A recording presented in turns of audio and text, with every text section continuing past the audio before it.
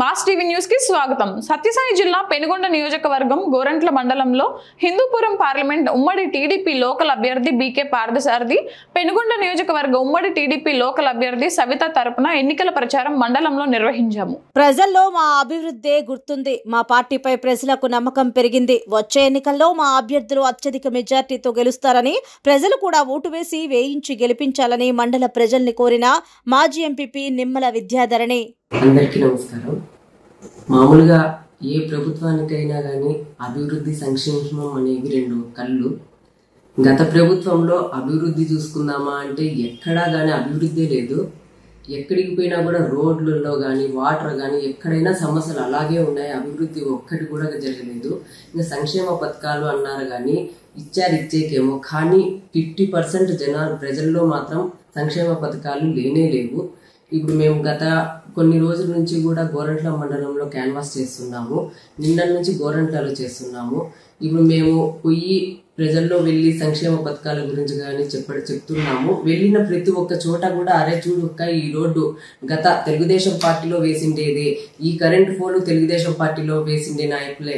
ఇక్కడ బోర్ కానీ నీళ్ళు కానీ మా కుళాయి కానీ ప్రతి ఒక్కటి కూడా తెలుగుదేశం పార్టీలో వేసిండేటివి. ఈ గత ఐదేళ్ళలో మాకు ఎటువంటి సంక్షేమాలు కానీ అభివృద్ధి కానీ ఈ కాలనీలో కానీ ఈ వీధిలో కానీ ఈ మండలంలో కానీ ఎక్కడ జరిగిందే లేదు అని చెప్తున్నారు వాళ్ళే.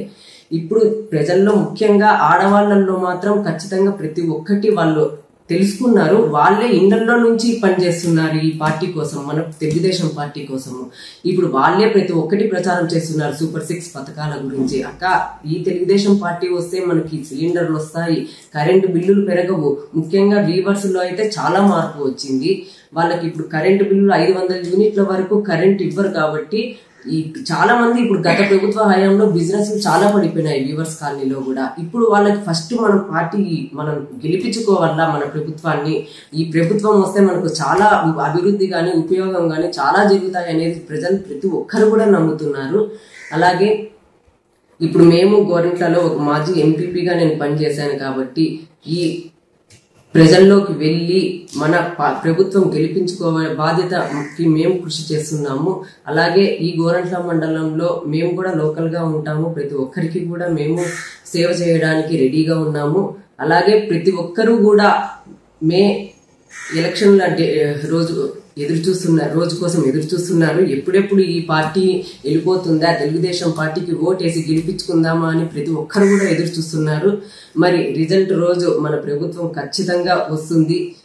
పైన ముఖ్యమంత్రిగా మన చంద్రబాబు నాయుడు గారు ఖచ్చితంగా కూర్చుంటారు. ఎంపీ ఎమ్మెల్యేగా మన సవితమ్మక్క గారు కానీ బీకే పార్సారథి అన్న గారు కానీ ఖచ్చితంగా కూర్చుంటారు. మనమంతా కూడా కృషి చేస్తాము. జై తెలుగుదేశం.